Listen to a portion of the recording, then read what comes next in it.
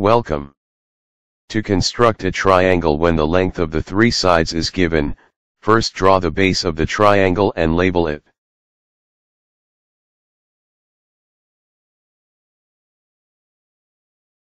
Next, place your compass on point A, then cut an arc of radius equal to the length of the left side given.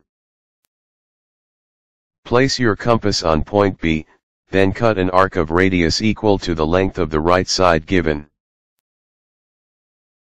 Label the point where the arcs intersect.